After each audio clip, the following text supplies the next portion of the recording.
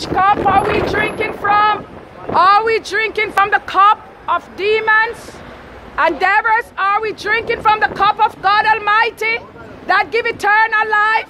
You know, if you're not drinking from the cup of Jesus Christ, you're drinking from the cup of devils and demons and you're going to die in sin. Now you have a chance to repent.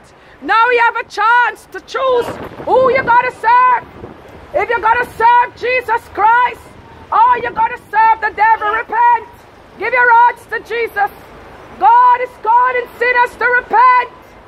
I tell you, no matter how beautiful you're on the outside, you're going to die one day.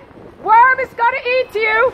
The worm never died that's going to eat you. Repent and give your hearts to Jesus. Only if you have Jesus Christ in your life, when you die, you shall go back with him. But you have to die in the name of Jesus.